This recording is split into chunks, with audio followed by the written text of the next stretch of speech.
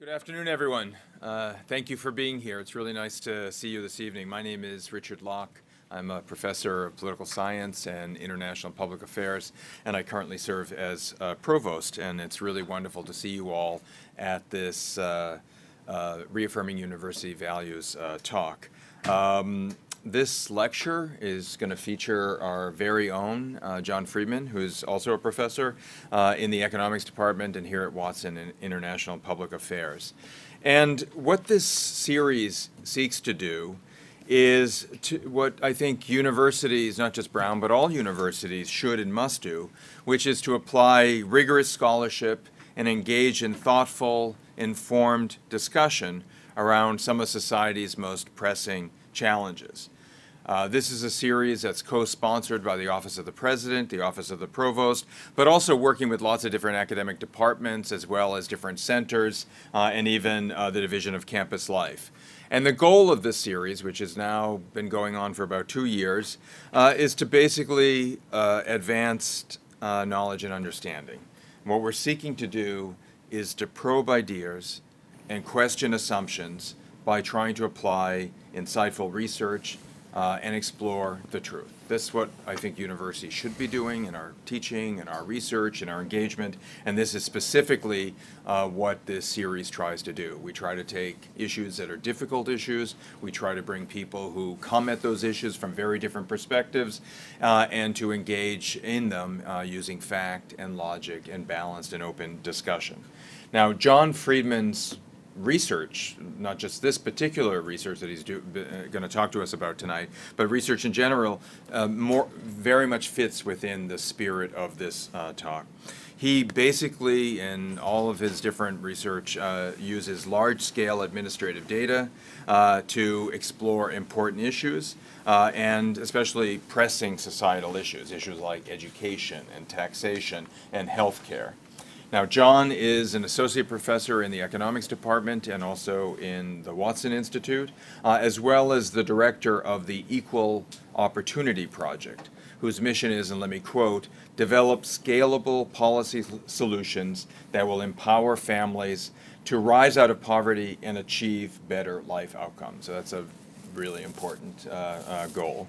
Uh, in addition to the work that he's going to be talking about tonight, one of his more well-known studies used a massive data set from a large urban school system. So it had two and a half million students, 18 million test scores over two decades to explore the role and effects of teacher quality over the course of a student's life.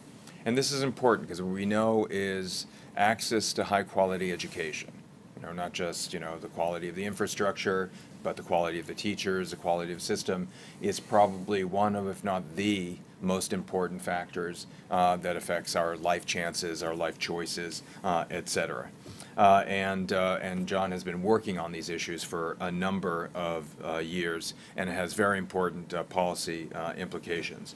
His work has been published in top academic journals as well as in major media outlets and was cited by President Obama in his 2012 State of the Union address.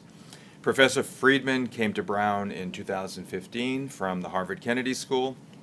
And prior to this, he worked as special assistant to the President for Economic Policy at the National Economic Council in the White House.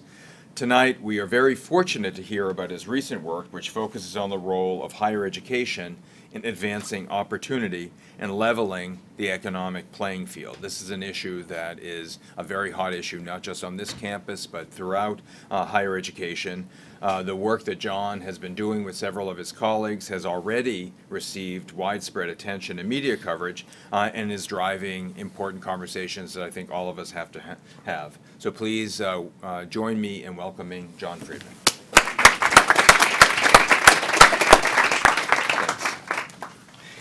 Uh, well, thanks, Rick, and it's uh, thank you uh, to all of you for coming here today, uh, slogging through the rain. At least it wasn't snow to uh, spend an hour here uh, this afternoon. as Rick said, my work focuses on upward mobility and thinking about what are the causes of different mobility for kids from different backgrounds in the U.S. and what we can ultimately do from a policy perspective in order to address that. And it's especially that last part which I really want to get to and focus on today, uh, what I'm going to try to do is talk about some of the, the findings that we've generated so far, uh, first in the higher education space, and then more broadly in terms of the importance of neighborhoods, and then talk about what I think is the question that uh, really we should all be asking is basically what do we do now? What, what are the steps concretely that we can take in order to take this research from being ideas to actually improving upward mobility?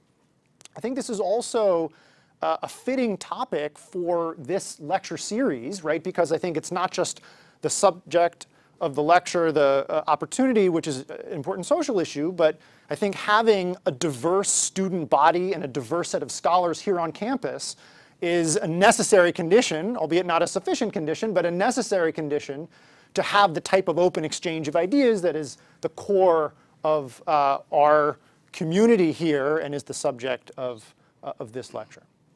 So First, just to start from the beginning, why do we think that opportunity is such an important issue to study in society today? Well, let me show one uh, chart. This is not my work, but I think it's uh, something my co-authors put together.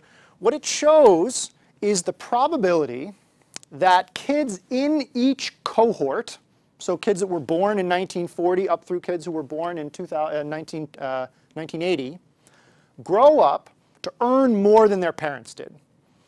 Now this is a very crude measure, but it is certainly a measure which is what many people associate with the American dream, that each child, no matter their background, has the opportunity to rise up and make a better life for themselves. Now what the data show is that 70 years ago, so this is when my parents were born, 90% of children grew up to achieve the American dream by this measure. And children were so successful that in many cases people talked about doubling standards of living, not even just surpassing their parents as the real sense of the American dream. But what's happened over the 50 years following, so by the time we get down to 1980 here, when I was born, children have no better than a 50-50 chance, a coin flip, of, of achieving the American dream by this measure. And as I'll show you later in the talk, this has happened in different ways in different places, that I think correlates very strongly with the type of real anger that is out there about the lack of opportunity for children in America. And so I think that understanding what's going on behind this decline and then ultimately getting to policies that can help reverse it or at least stabilize it is incredibly important for research and for policy. And so that's the goal of the Equality of Opportunity Project. This is my two co-authors and I have put this together. And in many different settings, we try to use big data to understand how to revive the American dream. And here I'm going to talk about colleges, but we really try to study a, a, wide range of different ages and interventions and think about all of the different factors that come together to determine how children have opportunity coming from different backgrounds. And so I'm going to start today, as Rick talked about, with the link between colleges and intergenerational mobility. In some sense, this is the most direct sense that it's not only about opportunity from a national perspective, but it's also directly related to the types of values here on campus. And so it's probably a good in and of itself, even if it had nothing to do with uh, this economic mobility. Now, I think we all have the intuition that places like Brown can play a critical role in upward mobility, especially for students from disadvantaged backgrounds. And the data are very clear that this is in fact the case. So what I want to start with, and this is all data from students at Brown, uh, is to think about kids coming from different slices of the parent income distribution. And I've constructed these five bins as quintiles so that mechanically there are 20% of students born in each year in these bins. And what we can first do is say, well, let's look at those students who actually showed up at Brown. How did they do when we look at them after they left in the labor market? And what we can see here is that on average, let's start with kids from the poorest 20% of households, they end up at about the 72nd, 73rd percentile nationally. That's compared to other kids that were born in the same year. What happens to children from Brown who come from much wealthier families, that come from families in the top fifth of the income distribution, who earn more than about $100,000? They also end up at about the 73rd income percentile.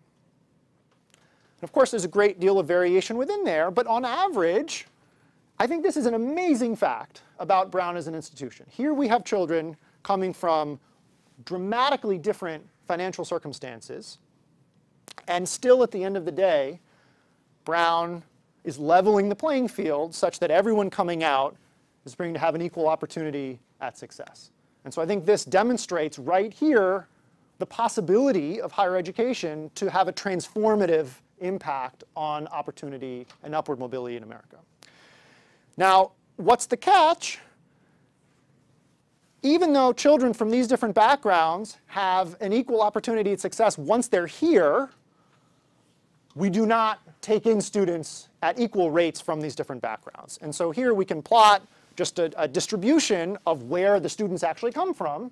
And we see that only 4% of students come from this uh, poorest fifth of households, and 70% of students come from the richest fifth of households. And you can even telescope further out into the tail here. The data show that about 20% of students come from the richest 1% of households.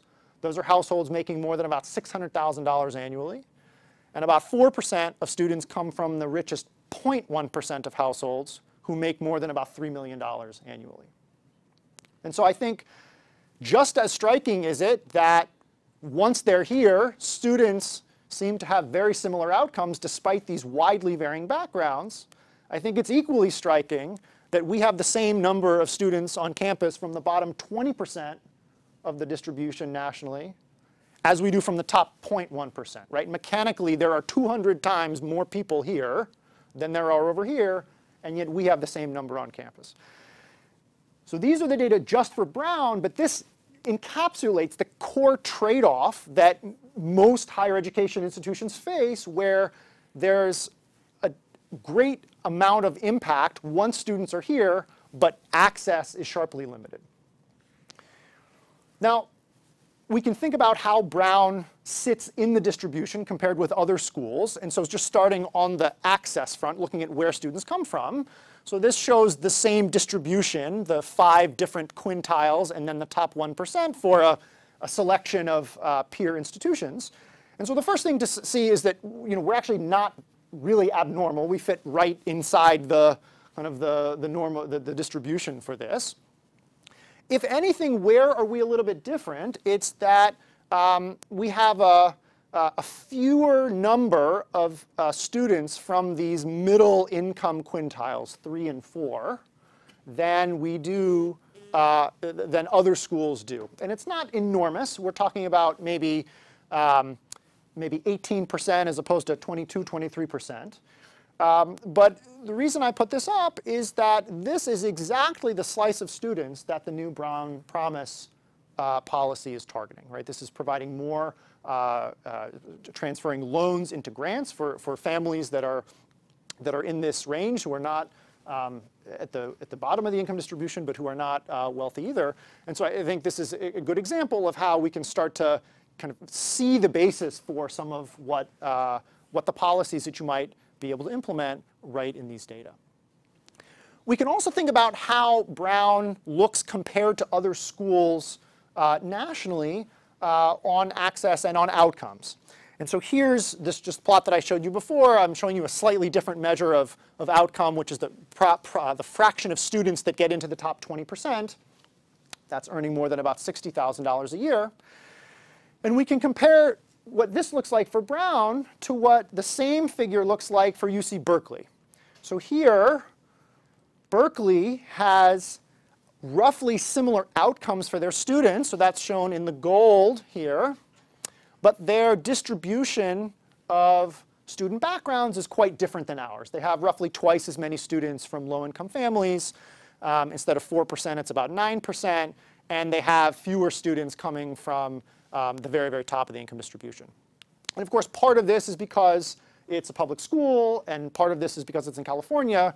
But as I think I'll argue later, there's, there's, some, there's a core here where uh, saying that we should uh, aspire to be uh, as diverse as Rhode Island Community College is just maybe not a reasonable goal. Thinking about what Berkeley does is just much more reasonable as something uh, we can aim for. But nationally, this type of trade-off where you see institutions with similar outcomes but somewhat different levels of access, I think is very interesting and important. Because what it means is that it's not an ironclad trade-off where there's no way to produce better outcomes among your students unless you admit fewer students from disadvantaged backgrounds. It's possible to, to do both at the same time. And these are the institutions that we should be looking to in order to understand what we can do in order to, to further improve uh, what's going on here uh, at Brown and at other elite schools. Now, rather than showing you this picture for thousands of colleges nationally, I'm going to summarize this into just these two numbers. So here's access as the fraction of parents from the bottom fifth. And then I'm going to call the success rate the fraction of students who reach the top fifth. So at Brown, these are 4% and 53% respectively. Both of them are important for thinking about mobility. And in fact, if you just multiply them together, you can calculate what we call the mobility rate. So at Brown, that's 2.4% of students. This is, you can interpret this as the fraction of all students on campus who are bottom to top success stories, who both came from families that were quite poor and themselves achieved economic success once they graduated.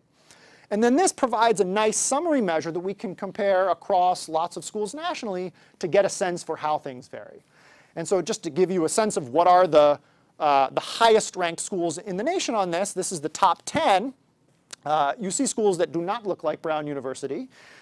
Six out of 10 schools on this list are uh, kind of somewhat selective or non-selective four-year public schools. So right in the middle tier of the American public uh, higher education system. So like Cal State or uh, UTexas Pan American, CUNY, uh, Cal State Poly, UTEP. These are schools which succeed in both having a very large number of students on campus from, from poor backgrounds, but also producing very good outcomes for them. And to give you an example, the Ivy League is down here. Now, this comparison is not quite fair because these schools are just operating with a vastly different business model than, than elite schools. And so that both reflects the reality that due to their size and, and makeup, Ivy League schools will never be a broad-based solution to upward mobility in America. Just far too few uh, students, and it's, it's targeted too much at uh, people who are uh, kind of top achievers. What you do see, though, is if you redo this, looking at kids who get into the top 1%, so who really succeed, who are leaders in their fields, that has Ivy League schools right in the top. And Brown is at something like the 96th percentile or 97th percentile of that measure nationally. Now, how have these things been changing over time? There have been a lot of policies that have been put into place in order to improve access uh, here at Brown, at other private elite schools, while at the same time we've seen sharply cut budgets within many public school systems around the country, especially in the wake of the Great Recession. And so what this chart shows is how this access measure, the fraction of students from poor families, has evolved over time. So here I'm showing it to you for Brown and then for the Ivy League average. And what you see is that Brown has actually, it started below the Ivy League average at the beginning of our sample and is, is about the Ivy League average when our data end in uh, 2011, which would have been about the class of uh, 2013 or 14. But what you also see is that things haven't moved that much the fraction of poor students at Ivy League schools as a whole has gone up from about 4 to maybe 4.5% over this period, which is obviously better than nothing, but I think falls short of what many people had hoped would be the impact of this great expansion in financial aid. And so I think that poses the question, well, like what should we do in order to continue to improve on this? And I'll, I'll come back to that later on. So stepping back from college, though, right, fundamentally, maybe we could get this number from 4% up to 8% to be closer to where Berkeley is, but we're not going to get it to 20. Why are we not going to get it to 20? Because we're starting at age 18 or 19 when children have been through 20 years of vastly different upbringings and exposure. And so in order to fully understand what's going on, it's important to step back from the universities and think about what's happening in these students' lives before they get to school. What are the other factors that are important? And so that's something that I've also been working on recently, trying to think about the impact of neighborhoods in determining opportunity. So first, just to set the stage on neighborhoods, this is a map um, that my uh, co-authors produced while I was in the White House. And what this shows is the fraction of poor children reaching the top 20%, the same outcome measure that I was using, but not for colleges, for all the different uh, cities in the country. And what you see is that there's an enormous amount of variation here. Right? We see cities in the south, like Atlanta and Charlotte, where just 4.5% of children from poor families achieve this measure of success. And then places like Providence or Seattle, Sacramento, Salt Lake City have numbers that are nearly three times higher. What these uh, researchers also showed is that for the most part, these differences across place are causal.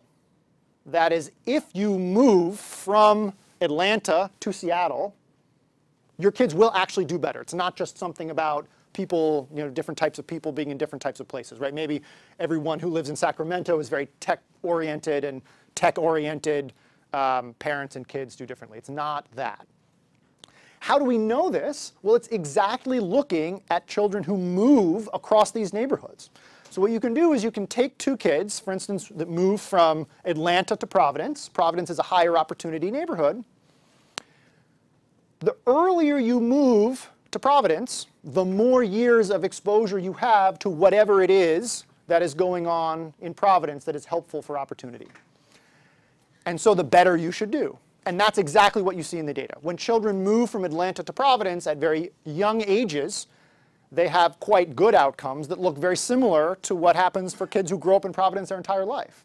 Whereas kids, for kids who move at much later ages between Atlanta and Providence, they actually, despite the fact that they moved to Providence, still basically look like the children who spent their entire lives in Atlanta.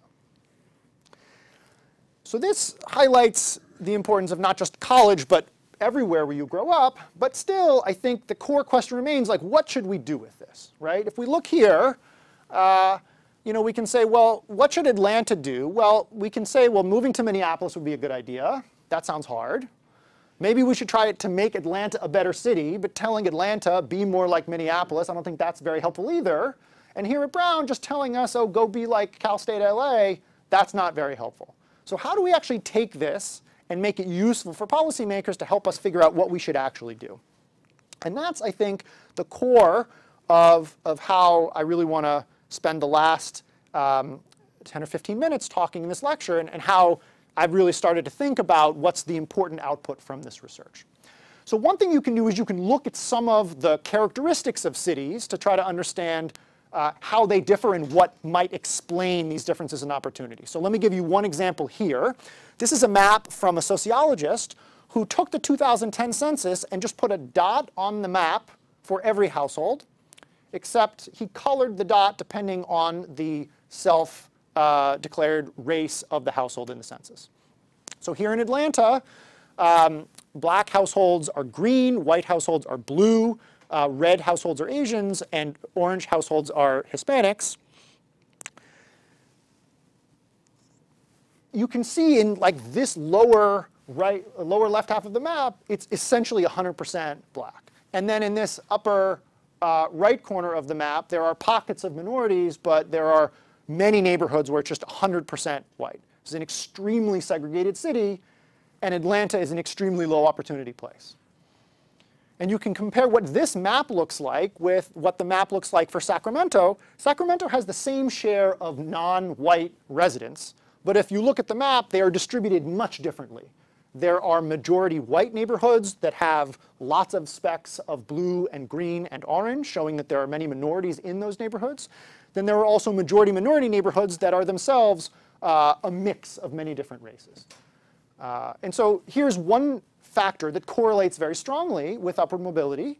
So this starts to give us a sense for what might make a difference, but still, just telling Atlanta, become less segregated like Sacramento, that's a really hard thing. That's not actionable, right? Or we can look at the same map here for Providence.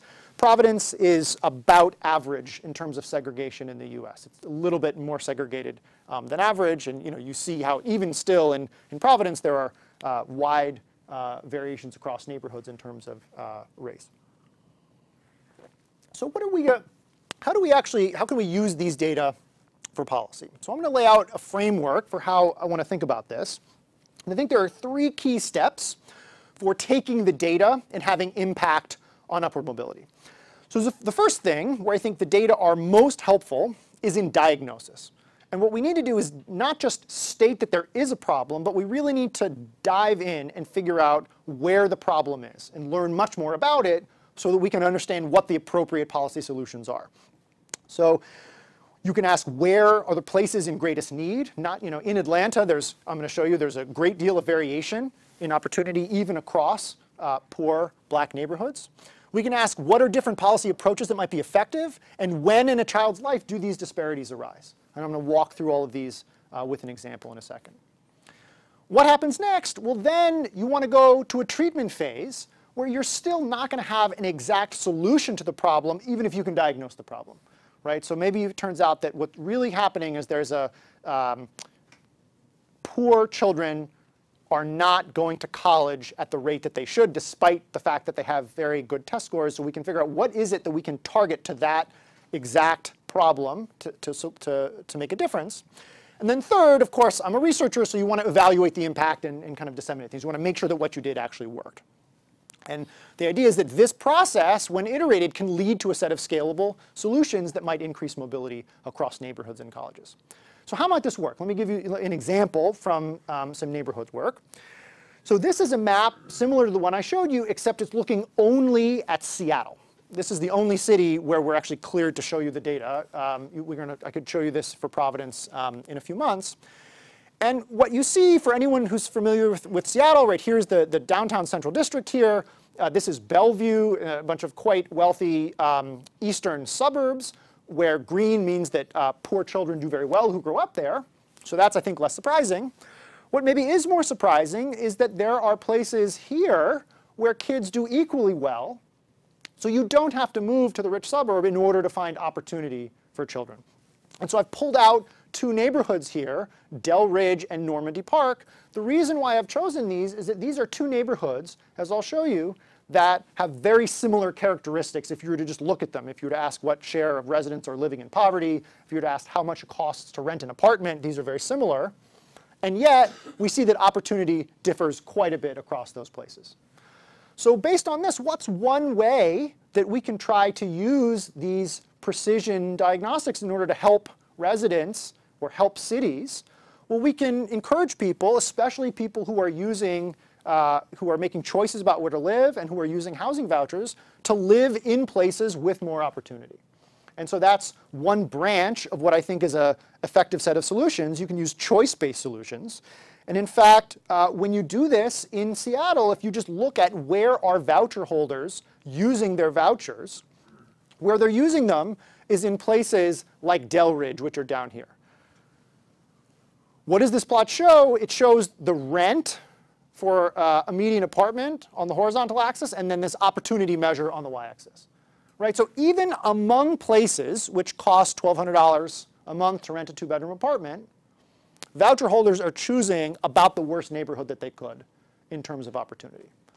And I don't want to minimize the, bar the barriers that exist for them living in other neighborhoods, but cost is not a barrier because there are neighborhoods like Normandy Park up here, which are actually cheaper, but considerably higher opportunity. And so we're actually working with the housing authorities in Seattle to try to both embed this information in housing vouchers and help overcome a number of other barriers. So for instance, it turns out to be quite difficult to just find a landlord who's willing to rent to you, even if the apartment is appropriately priced and it's something you want, to try to uh, use this as one approach to, to solving um, this problem of opportunity. What's another way that you can think about this problem? You can think about place-based solutions. Why is this important? It's because no matter how many people think and use, think about and use this information when choosing places to live, moving all of the residents out of a poor neighborhood is just not a feasible solution. That's not something that's going to work. So at some point, we're actually going to have to get into it and fix some of the neighborhoods that aren't great. How can the data help here? It can help us diagnose the problem at an even more fine level than just knowing that this is a low opportunity neighborhood. So what do I have in mind? We can think about different points along the timeline of childhood where we can have discrete different interventions. And then we can ask, where along this timeline do neighborhoods seem to fall off the path? So now I'm going to give you an example from Atlanta. In Atlanta, here are uh, two districts. So th these are two districts that you might think about in the choice-based approach. These are two um, essentially 100% minority neighborhoods in Atlanta.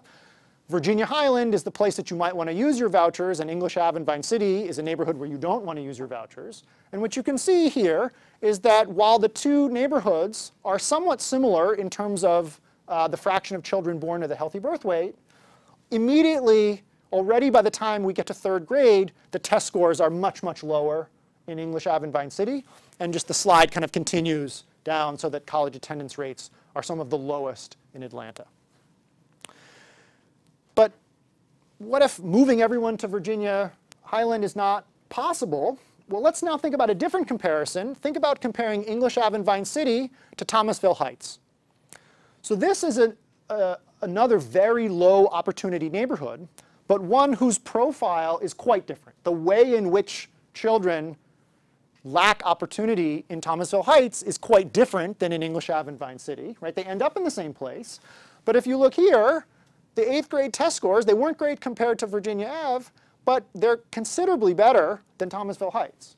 Right? So this now allows us to dig in further and say, well, it's not just something general or unknown that's happening in English Ave and Vine City. What seems to be happening when the students are in high school, between eighth grade and when they might enroll in college? Maybe the problem is they're not in high school. Maybe the problem is they're in high school, but they're not being appropriately guided to success. We can dig in even further and ask, is this a problem that's occurring among boys or girls facing very different challenges in high school? Is this a problem that is occurring more among racial minorities? In this case, they're essentially all racial minorities, but or is this occurring among parents uh, who um, are themselves quite educated but still live in poor neighborhoods, or are they occurring more among children from very poor, uh, poor households? And this will help further uh, nail down uh, what exactly you want to do and I think you can actually imagine taking this and say, well, we don't have exactly the answer for what is wrong with high school in English Ave and Vine City, but something is happening at that age in particular that we need to target. And I think this is a much more constructive approach than just saying, go be like Minneapolis. Now, how do we apply this uh, to college? College access is obviously one of the things on this timeline. And so I'm going to circle back now to think about what we started with, how do we think about college access as a potential solution to some of these problems? And so I think that you can apply this type of precision medicine approach to opportunity in colleges, thinking both about access and opportunity, but to do so you really need to dig into the details. And so what we've done to do that is we've recruited a number of partners, about uh, 200 colleges nationally, who are working with us to share data to really understand what's going on inside the admissions process. Some of these schools have selective admission, some of them don't. What's going on inside uh, the campus, what courses of study are they taking, what programs are there in order to help students succeed. How can we help students from poor background actually get through school and graduate? What are the particular barriers that we need to overcome? And I, uh, I, so I was just talking with uh, Rick before this. Very much hope we can uh, make sure that Brown is on this list. What are we actually going to do? Well, we're going to ask different questions when thinking about access and success. For access, we can think about how do you find and attract more talented students? Who are the students in the pool who we can identify by studying these long-term outcomes as actually really quite talented, who we really want to go after, who, for whatever reason, we're not currently recognizing? How can we expand the pool of, uh, of, of students who were applying that we're excited about.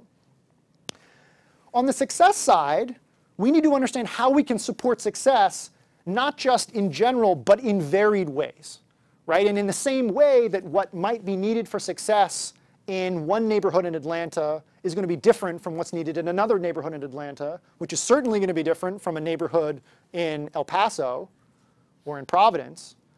What's needed to support student success for children from poor backgrounds, but who have very educated parents, is going to be quite different from what we need to, uh, to support students who might come from more affluent backgrounds, but whose parents did not go to college. Right? Those are just two different settings, even within Brown. And of course, that's going to vary tremendously from what we're going to need to support student success at a place like Cal State LA.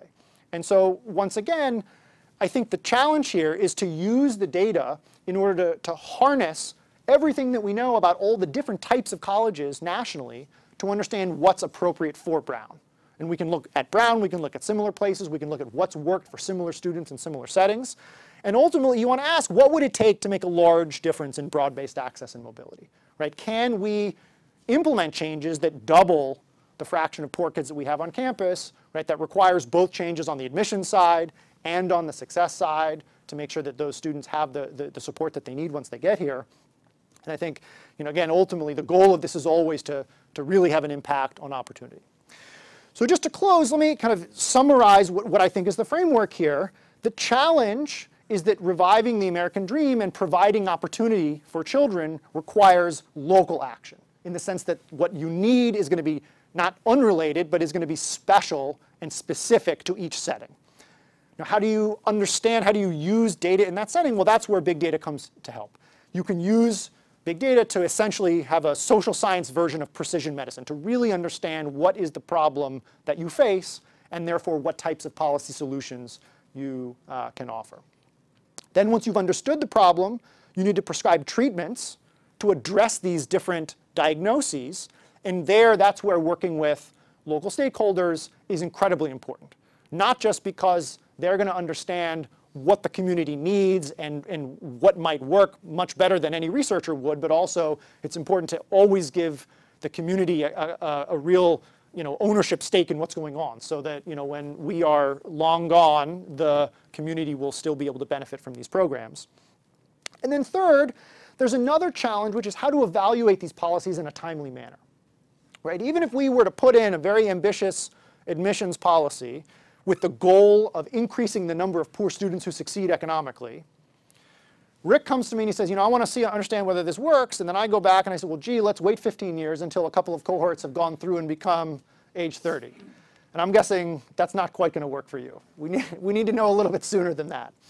Uh, and so here too, I think there's a solution in the data, which is that you let the data be the guide for what are the appropriate choices of short-term proxies.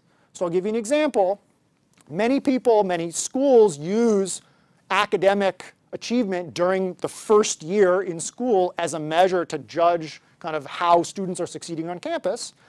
You know, that's a real measure. It's not like it's randomly chosen, but it turns out to be just totally uncorrelated with long-term stuff. It's just a terrible measure. Why?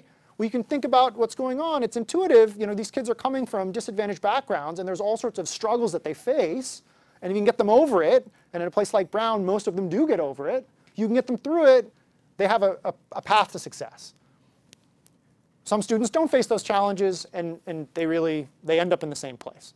And so using these short-term proxies that, that are not good measures can actually lead to, to, to concluding the wrong thing about whether this is working or not. You know, wow, we have a bunch of new students on campus and you know, the rate of failure in first year classes has gone up. That's a big problem. Well, it is a problem. We need to fix it, but that shouldn't let us conclude that this policy was a bad idea.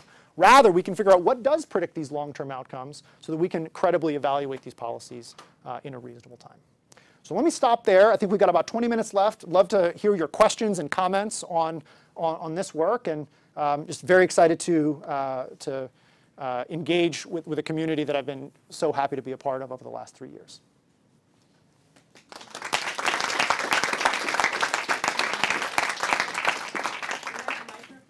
because we are taping, we'll um, ask that you use the microphone. Please, I, I don't know, I'm supposed to moderate. Go ahead. Um, I have two questions. The Please. first one is, at what age did you measure the data for the income post graduation? Like Mm-hmm. you said that students after graduating Brown reach a certain income percentile. Mm-hmm. At what age did you say that they reach that percentile? So we're measuring it in their mid 30s. Okay. And it turns out, uh, I think, you know, your intuition that, you know, we don't want to be measuring income when students are in medical school or in grad school or doing an internship, that's exactly right. You see it in the data, especially for students coming out of an elite school like Brown. It takes a while to kind of get up to where your uh, kind of steady state uh, income is going to be. Now, students will con continue to earn more and more in dollars once they get into their 40s and 50s, but what we find in the data is that their place in the overall distribution pretty much stabilizes on average. And so while the distribution is continuing to stretch, whether you're at the 75th percentile or the median or something like that is, is a pretty, uh, pretty good measure. Thank you. And my second question was, what is the mobility rate for middle income students who are in the bot- bottom third or bottom fourth Yeah. percentile? Sure. I mean, so you can, you know, what's nice is that you can just um, multiply these things together. And so, um, backing up all the way to the beginning here, um, so right here, uh, right, you're just going to want to take the fraction. So let's just take the middle quintile. Um, there are about 8% or so of students on campus from the middle quintile. They too have about a, let's round to 50% as a chance of, of getting into the upper, uh, upper quintile. So multiplying them together, you're going to get about a 4%, uh, 4% rate. Uh, it turns out, you know, lots of people like to define mobility in a different way. You can do bottom three quintiles to the top quintile, bottom three to top two, you know, move up at least two. There are lots of variants on this. Turns out they're all very, very highly correlated. And my sense is that it's because these things tend to be pretty continuous, right? What happens for the poorest selection of students is, is similar to what happens for the next set of students. I was just curious if there's a drastic difference between Yeah. the rate at which income students are able to enter. Yeah, I mean, you say conditional on going to Brown, it's, it's almost the same. And so it's just about differences in their representation in the population. Please. Um, I just have a question, uh, since you're back there. The map showing uh, mobility rates um, nationally, um, there seemed to be a, a real barrier at 15% that I see no community Yeah. here that seems to have this level. And I wonder whether your approach, looking at the data in this micro way, um, takes attention away from some very major barriers to numbers ever going up very significantly. Um, this seems striking to me, but certainly at the higher education level, I think that, you know, some people point to the late 80s when the cost of a full year at the Ivies went over the median national income, and need-blind financial aid became the norm, which is a double-edged sword, of course, because it need blind, whether they're grants or loans, simply rules out a certain group that the standard package is insufficient. So I just wonder how you, how you think about, it's nice to make small incremental changes in mobility rates, but if there are systemic uh, problems that are really overwhelming barriers to improvement, how do you see them? Sure. So, I mean, I think that just the first thing to say is that, um, you know, 15% is actually really impressive, right? Because the, the measure that we're using is the fraction of kids from poor families that get into the top 20%. So by definition, you can never have more than 20% of students in the top 20%. And so if 15% are getting into the top 20%, that means that the difference between the very poorest children and, and the very richest children, if it's got to average to 20, is going to be like 15 to 25 or something like that, which would be, uh, so that, that difference is, is 10%. The current difference in society is 30%. Um, if it were 15%, that would also be better than any uh, developed country that we have data on. So I think the highest is in Canada, where it's about 12 and a half or something like that. So, um, you know, I would not. I think 15% is is would, that would be. Um, I mean, we're not going to get there. So, that's, uh, but but that would I think really be quite a step forward. Um, now, maybe you ask why isn't that 20%? Why is not completely equal uh, access or to, the- to the economic success something that's feasible? And um, you know, I, I, I think that there's, uh, you know, there's just going to be a limit on, on what policy can do in a way that um, people with more money can buy more things. That's what more money gives them. And um, it's going to be very difficult to have some policy that literally equalizes everything. Um, and so I think that, uh, you know, looking at some of these areas in the country where, where upward mobility you know, in Providence, upward mobility is very similar to what it is in, in Denmark and Sweden. So, right, that's great. We don't have to go to Denmark and Sweden and all eat herring in order to have upward mobility. We can, we can do it right here. And I think at a national level, you know, some of these comparisons, I mean, I think they're less helpful from a policy perspective, but I think it's instructive that even within our country, we have this type of variation. Please. Um, so your research considers a really quantitative measure of income as the definition of success, but I was wondering how more qualitative measures such as health outcomes or satisfaction or overall Yeah. improvement in quality of life can be considered through this framework. Yeah, so that's a great question. Um, I think you can break down the answer into two parts, right? So the first is that I'm using one very particular quantitative measure, just kind of for simplicity. There are many other quantitative measures that you could still use, right? So you can use um, uh, measures of, uh, you can look at the neighborhoods people are living in for quality of life. You can understand what fraction of uh, students grow up to live in certain types of families or have certain types of jobs. You can look at who uh, has success by other measures. You can look at who gets a patent, who starts a business.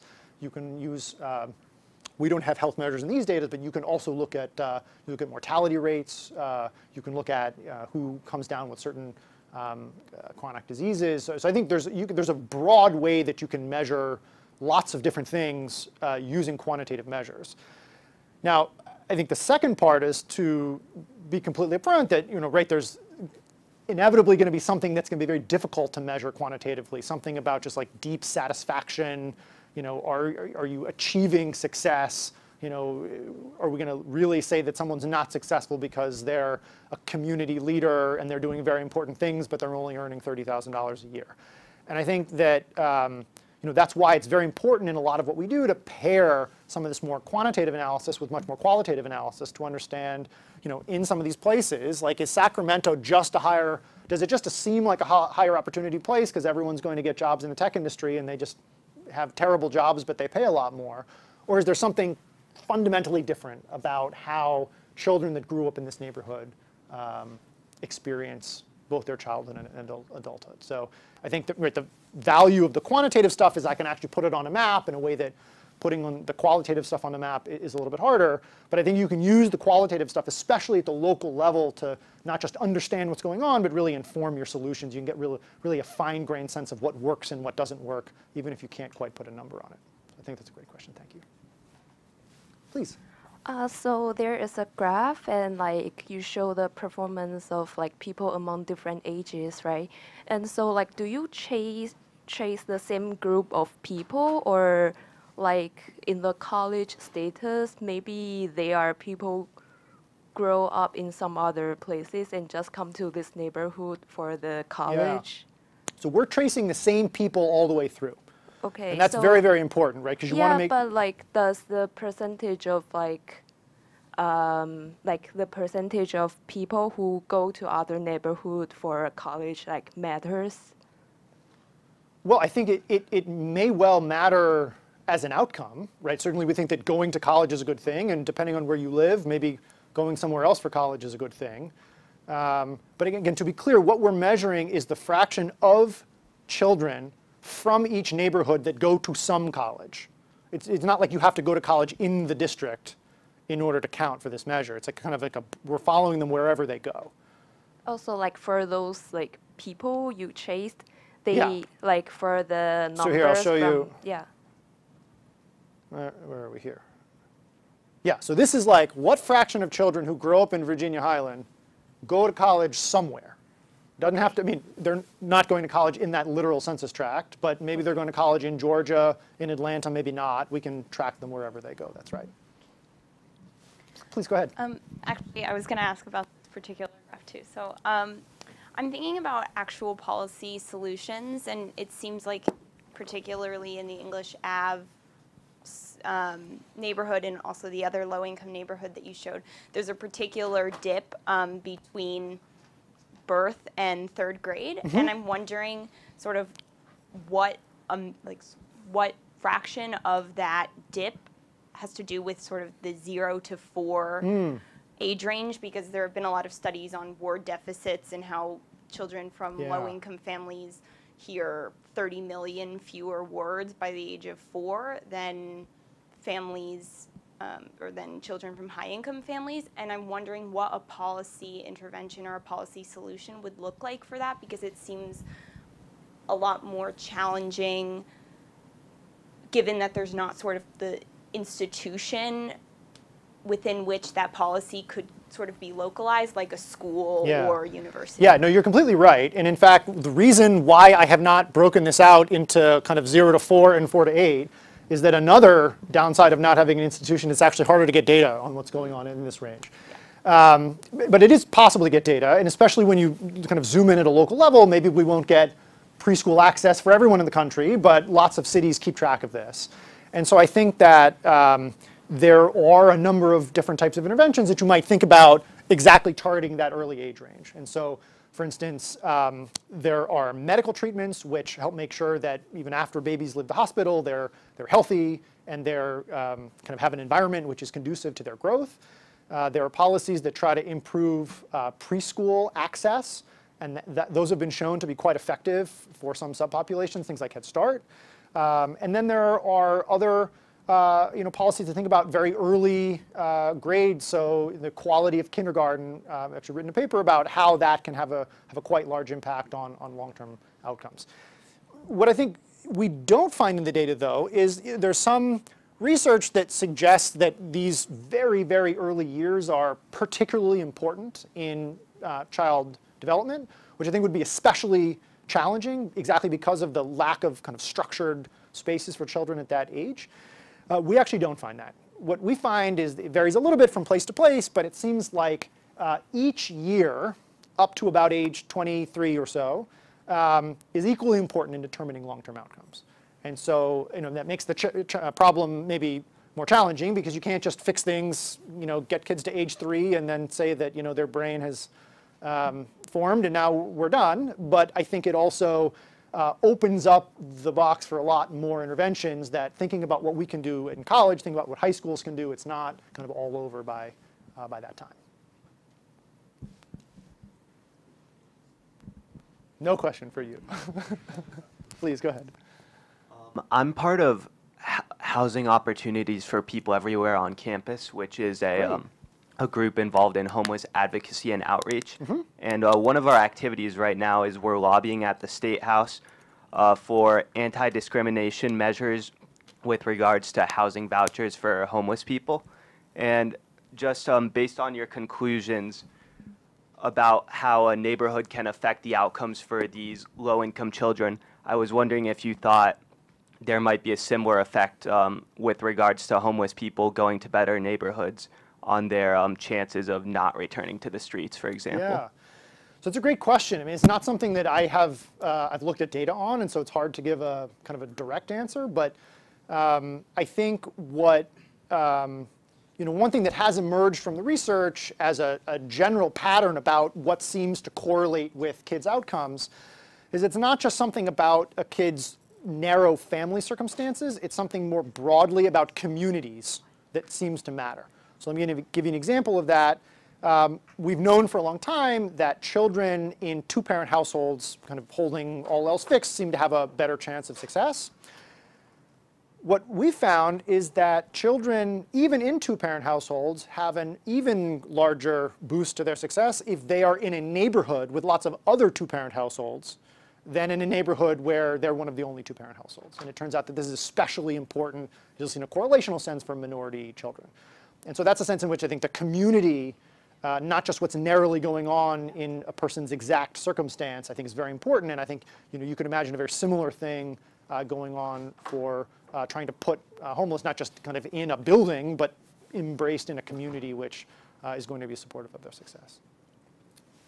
Please, in the back.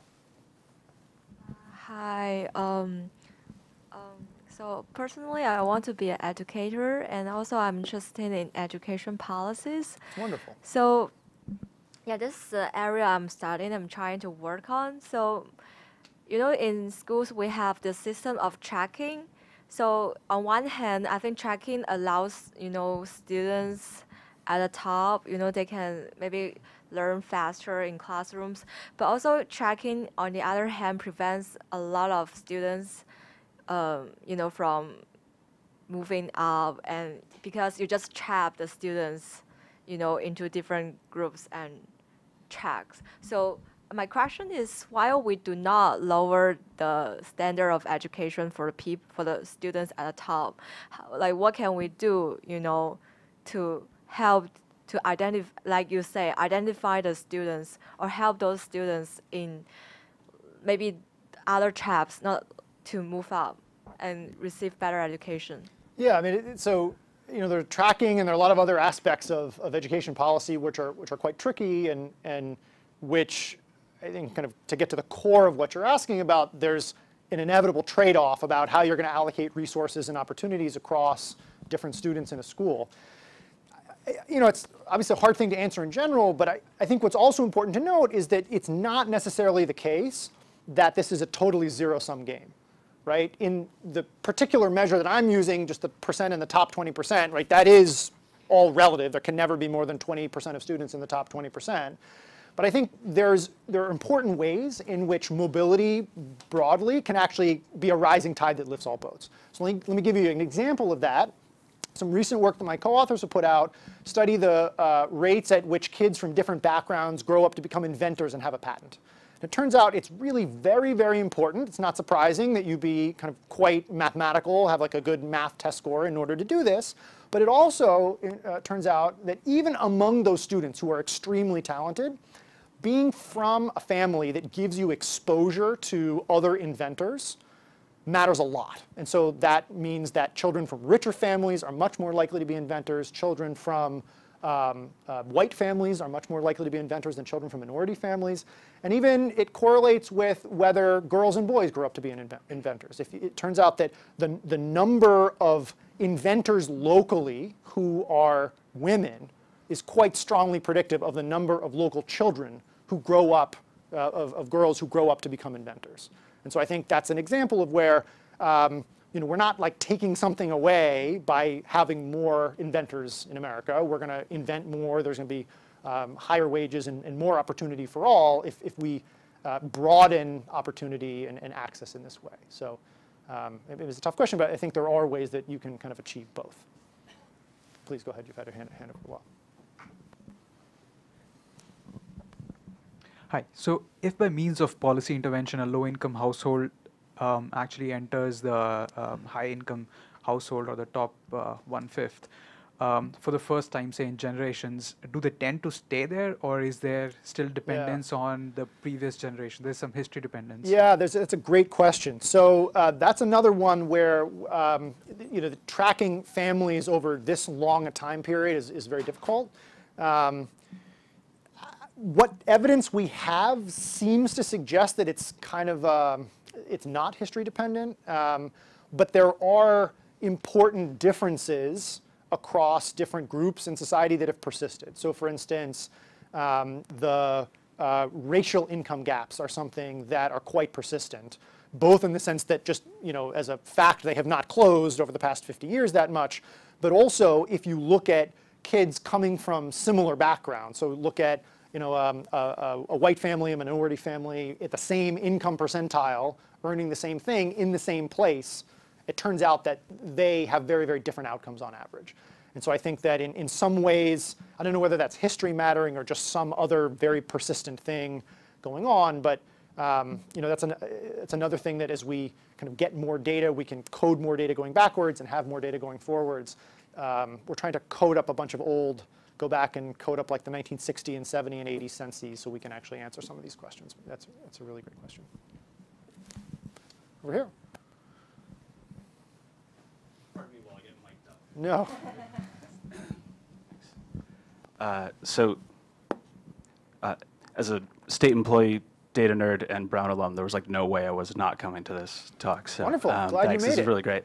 Um, and so coming at it coming from a governmental perspective, um, I, I just two hopefully fairly quick questions. One, uh, is it within the scope of your project to um, kind of elucidate like best practices in terms of data-based, uh, iterative, you know, uh, experimental policy implementation, Mm-hmm. best practices for piloting, stuff like that? If, I didn't know if that's like a, a work product that your project was going to do second question was just um, you're using this data to look prescriptively, normatively looking forward, um, and you know when we do intervention X, this is Y, delta, and outcome. I was wondering if you've used this data to look retrospectively at when certain policies were implemented to try and you know come up with correlation or causality, and using that as kind of a potential guide for crafting yeah. your future, you know, looking Yeah. policies? So I think that's a great question, and it's actually one of the things that we're really hoping to do, um, you know, after we have released these data. So um, let me just go back here. So what we're doing is um, we here? Uh, this map, um, you're going to be able to look at this map for anywhere in the country that you want online in about two months. Um, and you can download the data and do whatever you want with it. There's vastly too much in here for us to study all on our own. And so what we are very much hoping is that uh, folks like you can work with the data and analyze policies that are often, you know, some, some of the most impactful policies we think are ones that happen at the local level and therefore, you know, as an unfortunate consequence, we don't have big national data sets of all the kind of neighborhood level policies that, that were implemented 20 or 30 years ago. So I think there's a lot of scope for that to happen going forward. And I think part of that we're hoping to work with policymakers as they do, but I think a lot of it's going to happen just as people download the data. Um, and our approach is in all of this, in you know the, all the college data that I showed you for every single college in the country is online and available, and there are a bunch of uh, been a bunch of really interesting analyses that have come out where people compare it in other uh, new ways, uh, compare within the data. They import um, other policies and look at how things have changed. Um, and I think the same thing can happen in, in these data. So, um, you know, it's a, you, your intuition is exactly right that I think that's something that we can do going forward. No, sorry. Let me maybe give the final question. Looks like we're up, up against time. So, so one thing that you kind of skip by a little bit quickly in your talk that I think is fascinating is what's happened to state yeah, let me go universities over time. And you know, the really high mobility, high success Right. rate universities were these kind of mid-tier states. And there is a policy move towards sort of free college in New York and Rhode Island and other states. I just thought you might want to comment on that. Yeah, sure. So first of all, let me just, um, you're right, I didn't spend as much time on this, but um, we find, so to recall, this is where we found that uh, access, the fraction of poor children, uh, poor students on campus at these uh, Ivy League schools has gone up only a little bit over our sample period.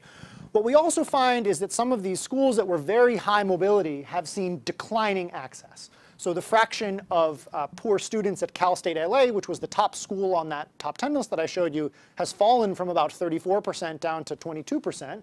So right, that's still quite incredible that they have more students than proportionally are in the population nationally on campus. Um, but it's much lower than it once was. And so um, you know, we're actually also working with Cal State to try to understand, first of all, what it is that they're doing right, but then also what are the, the challenges that they're facing over um, the, the past 15 years. Uh, in some sense, these declines are even more surprising given that the fraction of low-income children who are going to college has actually been going up over this period. So it's gone up from something like 25% to about 40%.